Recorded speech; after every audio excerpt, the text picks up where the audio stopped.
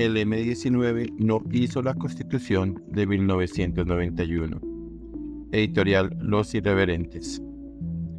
En honor a la verdad, la convocatoria de la Asamblea que hizo la Constitución de 1991 fue absolutamente ilegal.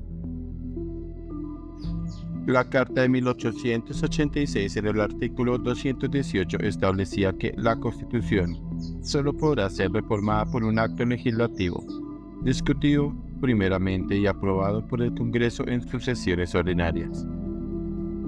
Esa norma fijaba el procedimiento a seguir para reformar a la Constitución que en todo caso debía cumplirse exclusivamente a través de la rama legislativa. Asimismo, y en aras de ratificar que la potestad constituyente era una exclusividad de los legisladores, en el plebiscito del 1 de diciembre de 1957, en el artículo 13, se confirmó que en adelante las reformas constitucionales solo podrán hacerse por el Congreso en la forma establecida por el artículo 218 de la Constitución sin que se tratara de un acto político vinculante, un movimiento de estudiantes universitarios coló en las elecciones del Congreso el 11 de marzo de 1990 una séptima papeleta que fue depositada por 2 millones de votantes. Dicha papeleta invitaba a que se adelantara una reforma a la Constitución de 1886. En este punto se derrumba la primera gran mentira que se repite furiosamente. No es verdad que la mayoría ciudadana quisiera el cambio de la constitución. De los 13,8 millones de colombianos habilitados para votar en las elecciones de marzo de 1990, a las urnas solo concurrieron 7,6 millones y únicamente 2 millones depositaron esa papeleta. Lo que significa que el 14,4% del censo electoral vigente para las elecciones apoyó la reforma. Y si se quiere ser un poco generoso, entonces el 26,3% de los colombianos que votaron aquel día acompañaron la iniciativa universitaria. ¿Dónde está la mayoría que tanto se cacarea? El proceso constituyente comenzó meses antes de hechas elecciones debe remitirse entonces a la firma del acuerdo de paz entre el gobierno de Virgilio Barco y la banda terrorista M-19. El presidente le propuso al Congreso un proyecto de ley para convocar un referendo ciudadano que ratificara lo pactado con los delincuentes.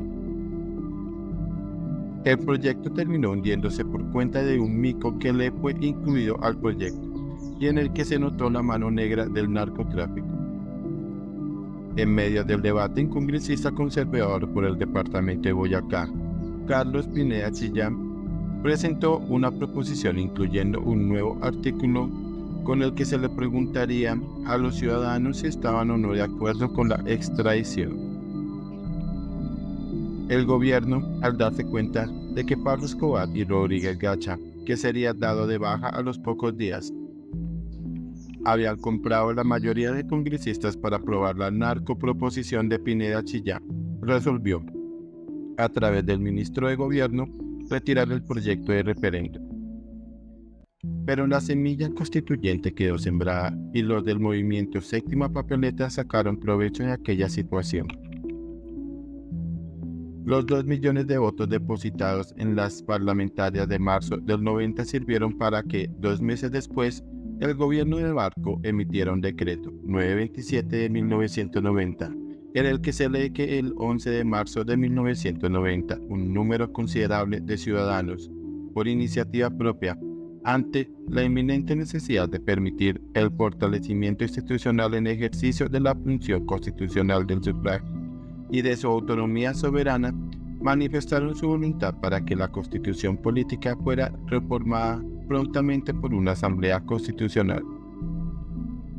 Una minoría palmaria fue convertida por decreto en mayoría. Ese mismo decreto le ordenó a la organización electoral incluir un tarjetón en la elección presidencial del 27 de mayo de ese año, con el siguiente texto. Para fortalecer la democracia participativa, vota por la convocatoria de una asamblea constitucional con representación de las fuerzas políticas y regionales de la nación, integrada democrática y popularmente para reformar la constitución política de Colombia? ¿Sí o no?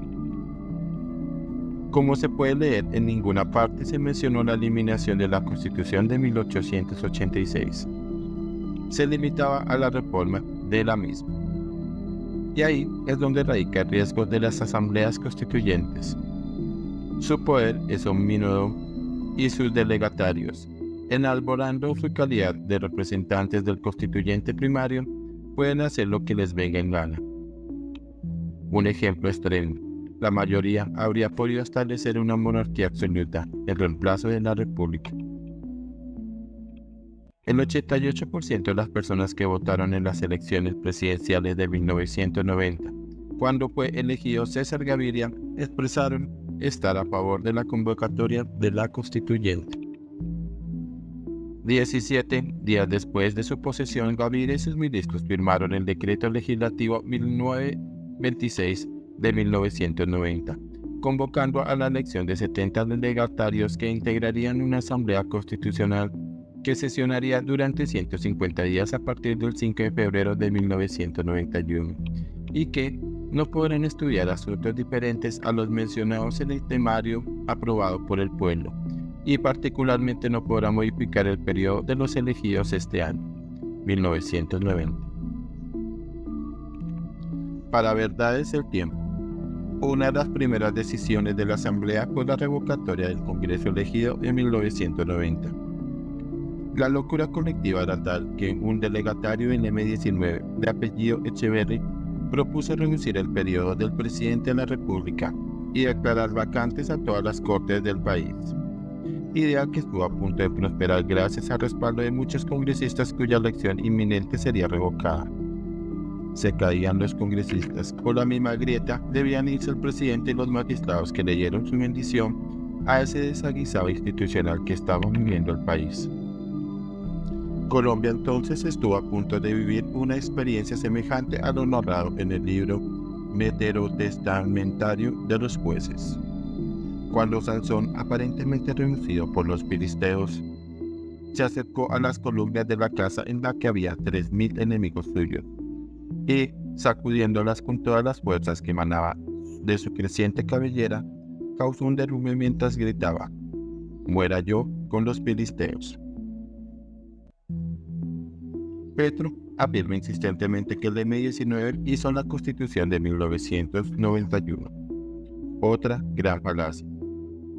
De los 70 integrantes de la Asamblea 19 eran de ese grupo, mientras que los partidos tradicionales, liberal, conservador y el Movimiento de Salvación Nacional, grupo liderado por Álvaro Gómez Hurtado, sumaban 45. Cuando se integró la asamblea, Petro tenía 30 años y acababa de salir del monte. Él realza su importancia en las filas de la banda terrorista a la que perteneció. Llama la atención que su nombre ni siquiera haya sido incluido en la lista presentada por su grupo y haya preferido insertar a otros bandidos como Antonio Navarro, Vera Grave, Álvaro Leiva, Angelino Garzón, Rosenberg Pamón, Oti Patiño y al temible pederasta Willense Marcos Chalita. Si la relevancia de Petro era tan marcada como dice, ¿por qué el M19, en vez de pensar en él, decidió llevar en su lista personas que aparentemente no estuvieron en sus como el excontralor Carlos Sosa, la poeta María Mercedes Carranza, Orlando Paz Borda y el entrenador de fútbol Francisco Maturana? Hasta los del M19 le ofrecieron un cupo a Reneguita, quien declinó haciendo salvedad de que en la próxima constituyente sí participaría. Al margen de esa duda, lo cierto e incontrovertible es que la constituyente de 1991 fue convocada de manera ilegal y que el M19 estuvo lejos de ser un grupo mayoritario. Petro no hizo parte de la asamblea a la que la Corte Suprema, en una sentencia ignominiosa, le entregó un poder absoluto al concluir que era soberano. En agosto de 2021, siendo fiscal general de la Nación, Francisco Barbosa dictó una conferencia en la que narró con lujo de detalles cómo se surtieron la deliberación jurídica que dieron vía libre a la constituyente del 91. El documento presentado por Barbosa es fundamental para quienes quieran profundizar en ese asunto. Al margen de las pasiones ideológicas, es innegable que la voluntad del pueblo era la de reformar, más no la de eliminar el texto constitucional de 1886, como ocurrió y que quedó plasmado en el infame artículo de cierre de la Carta del 91. Queda derogada la Constitución, hasta ahora vigente con todas sus reformas. Esta Constitución rige a partir del día de su promulgación.